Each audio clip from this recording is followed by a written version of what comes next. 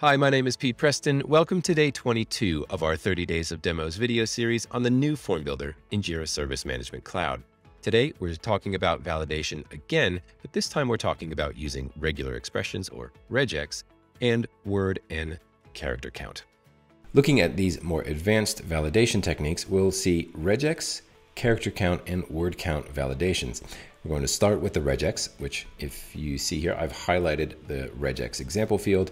And on the right side in the field settings, we're looking at a few things. One, you have to have this box checked, must match regex pattern. And then coming down to this regex pattern box here, I've entered in a regex pattern to require users to enter in US dollar amounts. And you can see here that there's a message that is requesting US dollar currency values to be put in that box. Next up is using character count, where I'm hovering my mouse over. You've got minimum and maximum character counts. And the next up is word count.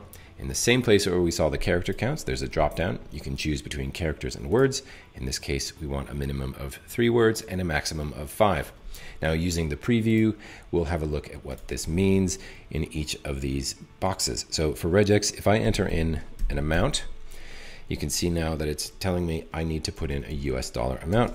So if I add a dollar sign, we're good to go. Using the character count, you can see now that if I don't have three characters yet, it's telling me that I'm doing it wrong. And if I start typing character count, I've now gone over nine characters and I'm getting an error code for that as well. Now, lastly, looking at word count validation, we're going to say we need between three and five words. Smart brown, now that I've gone into three words, we're okay. But if I want to go over my five word limit, I get the error code again. And the moment I go within the limits that we've set before, in each of the boxes, we're good to go, and I can then submit this form. If you'd like to get notified of all the videos coming out in this series, please click that bell icon and subscribe to the channel.